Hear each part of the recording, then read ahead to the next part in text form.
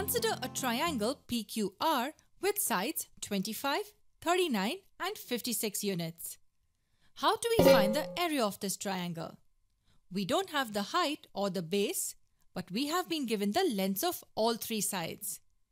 Since we've been given only the lengths of the sides, we know we have to use the Heron's formula and to use the formula, we need the semi-perimeter of the triangle. Let's zoom out and find the semi-perimeter which is S. The perimeter will be 25 plus 39 plus 56, the sum of all three sides.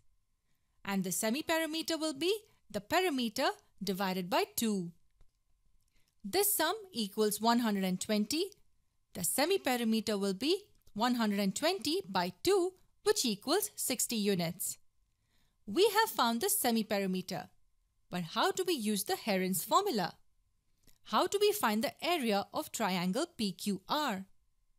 The area of triangle PQR will equal square root of s multiplied by s minus a multiplied by s minus b multiplied by s minus c, where a, b and c are the three sides of the triangle. In this case, s is 60, a can be 25 B 39 and C 56 units. We just need to be a little careful with the calculations here as the numbers when multiplied get really big. The area would equal square root of 60 multiplied by 60 minus 25 multiplied by 60 minus 39 multiplied by 60 minus 56. That will equal square root of 60 multiplied by 60 minus 25 is 35, multiplied by 60 minus 39 is 21, multiplied by 60 minus 56 is 4. Think about the product of these numbers. It will be massive. The worst thing you could do here is multiply these numbers to find the product. In our videos based on square roots, we had seen that if the number is big, we should use the prime factorization method to find the square root. And to use the prime factorization method, we have to reduce all the numbers to their prime factors. Let's look at the number 60 to start off. 60 can be written as 2 times 2 times 3 times 5. 35 can be written as 5 multiplied by 7. 21 can be written as 3 multiplied by 7. And 4 can be written as 2 times 2. The next step in the prime factorization method was to start making groups of two same numbers. There are four twos. They can be written as 2 multiplied by 2 multiplied by 2 multiplied by 2. Apart from that, there are two threes. We can write it as 3 times 3.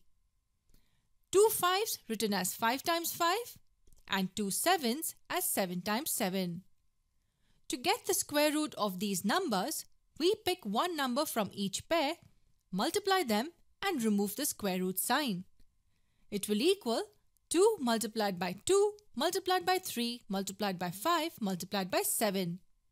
That gives us 420 square units. The formula is pretty simple.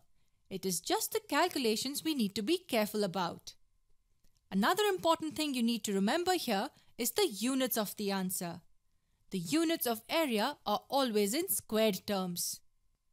Think about the other formula of the area of the triangle. It's half base multiplied by height. In this formula, it's easy to understand the units as units of base and height are multiplied to get squared units. But how do we get squared units here? Look at the formula carefully. Four lengths are multiplied. So the units would be square root of units raised to 4. That gives us units squared, which is the same as squared units.